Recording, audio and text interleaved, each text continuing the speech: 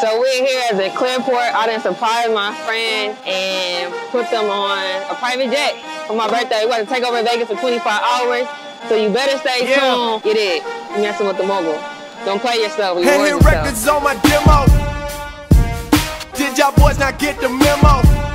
I do not stay at the Intercontinental. And anything I got is not a rental. I own that motherfucker. Figured out this shit is simple.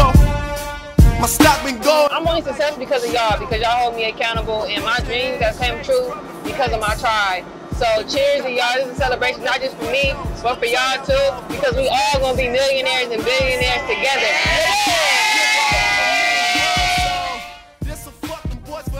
say, have you put your friends on a PJ yet? You used to tell your friends that all the time. And here we are. And we here for a good time, not a long time.